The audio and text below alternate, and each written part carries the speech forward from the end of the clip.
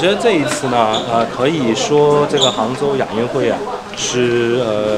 历史性呃办的最好的一一次亚运会。我觉得这个从整体的这个这个安排啊，整体的这个呃专业程度啊，整体的概念来讲呢，都是非常值得我们骄傲的一届呃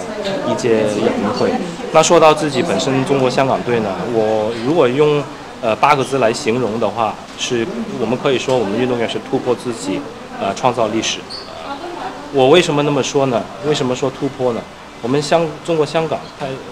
地方小，我们只有七百万人，但是我们有如此好的这个成绩，暂时到今天来讲，我们跟上一届是平了我们金牌数，我们八块金牌，以奖牌数五十三面，暂时五十三面呢，我我觉得是值得我们骄傲的，我们运动员骄傲，值得我们。呃，香港人骄傲的。